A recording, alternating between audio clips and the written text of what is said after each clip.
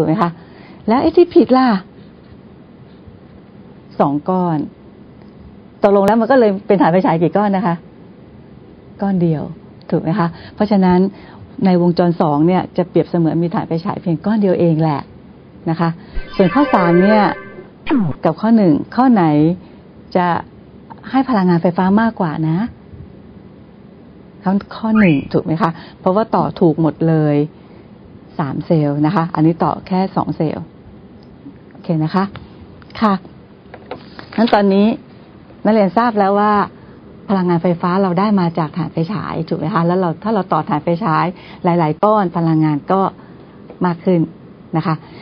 ต่อไปเนี่ย ครูมีฐานไฟครูมีพลังงานอันอื่นที่ไม่ใช่ฐานไฟฉายนะคะ พลังงานอื่นที่เราใช้เนี่ยเป็นยังไงครูขอเก็บพวกนี้ก่อนนะนะคะ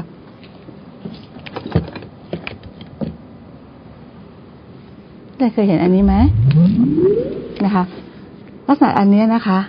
มันจะมีขดลวดนะคะ มีขดลวด แล้วข้างในนี่เป็นแม่เหล็กนะคะ ตรงนี้ค่ะเป็นแม่เหล็ก รอบๆนี้เป็นขดลวดนะคะ เสร็จแล้วเดี๋ยวคุณครูจะทำการทำอย่างนี้เขาเรียกว่าหมุนใช่ไหมคะเราหมุนอะไรเราหมุนแม่เหล็กนะคะ ถามว่าหมุนแม่เหล็กแล้วเกิดอะไรขึ้นนี่สังเกตนะ เกิดอะไรขึ้นวิเกิดอะไรขึ้นคะ มีไฟสว่างแวบแวบแวบแวบแวบแวบตรงนี้ถูกไหมคะทั้งทั้งที่เราไม่มีฐานไฟฉายเลยอะถูกไหมคะตรงนี้เราไม่มีฐานไฟฉายเลย ใช่ไหมคะ แต่ว่ามันก็มีแสงสว่างได้ ถูกไหมคะถูกไหมแสงสว่างเกิดเมื่อไหร่ เกิดเมื่อครูหมุน ถูกไหมคะ การหมุนนี่หมุนอะไร เราหมุนแม่เหล็ก หมุนแม่เหล็กตัดขดลวด มันก็จะเกิดไฟฟ้าขึ้น มันไฟฟ้าที่เรียนใช้ตามบ้านเรียนไม่ได้ใช้ถ่านไฟฉายถูกไหมคะเวลาไฟตามที่เราใช้ตามบ้านเรือน เราไม่ใช้ถ่านไฟฉาย แต่ถ้าในรถเด็กเล่น เราใช้ถ่านไฟฉายใช่ไหมคะไฟตามบ้านเรือนเนี่ย เรามีแหล่งกำเนิดพลังงานไฟฟ้า อันเนี้ยลักษณะแบบนี้เขาเรียกว่าไดนาโมนะคะ เป็นแหล่งพลังงานไฟฟ้าที่เกิดจากการหมุนนะคะหมุนอะไรหมุนแม่เหล็ก ตัดขดลวด หรือบางทีเขาก็หมุนขดลวดตัดแม่เหล็กนะคะ แล้ว เราเอาแหล่งพลังงานอะไรมาหมุนล่ะนะคะแหล่งพลังงานที่จะหมุนนี่ครูไม่ได้หมุนตลอดเวลา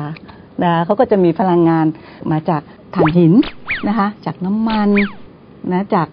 พลังงานน้ำนะคะ จากลมเยอะแยะไปหมดนะคะ นั่นก็คือแหล่งพลังงานที่นอกเหนือจากถ่านไฟฉายที่เรียนรู้จัก เอาละค่ะ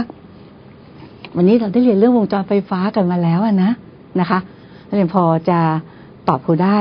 ในหลาย ๆ ประเด็นแล้วใช่ไหมคะ ว่าหนึ่งถ่านไฟฉายเป็นแหล่งพลังงาน ถูกไหมคะสองเมื่อมีกระแสไฟฟ้าไหลในวงจร หรือเคลื่อนที่ในวงจรเนี่ยมันเคลื่อนที่จากไหนไปไหนนะคะ จากขั้วบวกถูกไหมคะผ่านวงจรภายนอกไปสู่ขั้วลบนะคะ แล้วถ้าเราต้องการให้ได้พลังงานไฟฟ้ามากขึ้น เราจะต่อถ่านไฟฉายแบบเรียงกันไป